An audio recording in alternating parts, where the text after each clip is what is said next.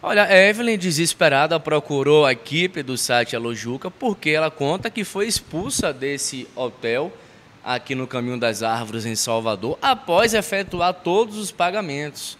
Evelyn, conta pra gente o que aconteceu. Você fez os pagamentos para uma pessoa que seria a responsável em alugar esse apartamento. Aqui funciona uma espécie de flat também, né? Sim. Conta pra gente, você fez os pagamentos, foi mil e... Fiz 1.300 reais. E aí o que aconteceu é que você teve que chamar a polícia militar porque queriam nem deixar você retirar suas coisas, pertences do apartamento. Correto. É, eu fiz o pagamento para uma pessoa que é a corretora e essa corretora talvez não tenha repassado os valores para o dono do flerte e acabou que ele barrando a minha entrada, ou seja, ele não deixou eu entrar de jeito nenhum, nem para tirar os meus pertences de dentro do hotel. Só, Só para a gente entender, você fez o pagamento para uma pessoa que seria responsável em alugar o flat ou apartamento, e essa pessoa parece que tem algum problema com o dono, né? Algum desacerto entre os dois, e essa pessoa não repassou o dinheiro para ele. Correto. Ele não repassou o dinheiro e ele acabou barrando a minha entrada dentro do hotel.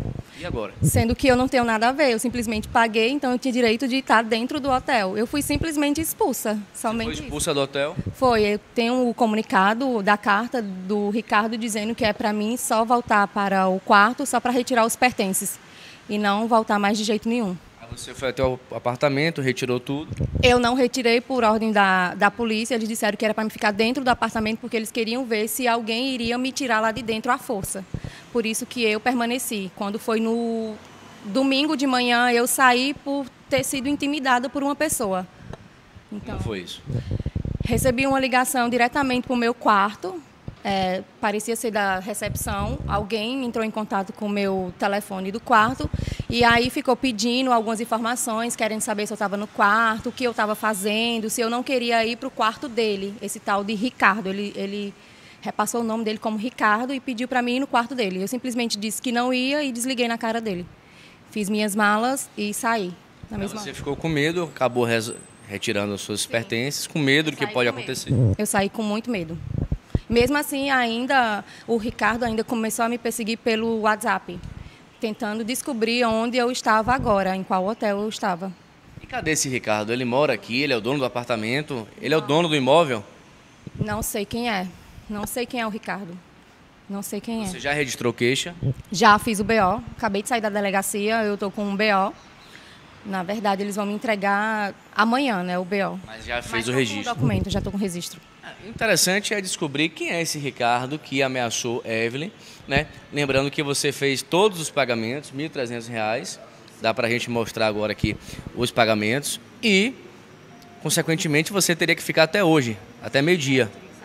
Teria que sair hoje meio-dia, mas teve que sair antes por conta das ameaças. É, por conta de algumas intimidações, de mensagens pelo celular, é, ligações diretamente para o meu quarto, não diretamente ameaças, mas tipo perguntando o que eu faz, o que eu estava fazendo no momento e se eu queria me encontrar com essa pessoa que se chama Ricardo. E eu disse que não iria. Olha, o pessoal do hotel disse que não vai falar, prefere não falar. A gente está dando também, né, uma oportunidade para o hotel explicar de fato o que aconteceu. E essa Marisa não atende. Será que ela vai atender? Parece que não, né? Tá no Viva Voz? Ver se a gente consegue falar com essa Marisa, que seria a pessoa responsável. Caixa de mensagem. Na caixa direto. Agora tá, mas antes não. Você conseguiu o telefone dela através de que rede social? Foi indicação de meninas. Tá bom, então é isso. A gente continua dando oportunidade para o hotel se defender, né, se tiver algum tipo de esclarecimento.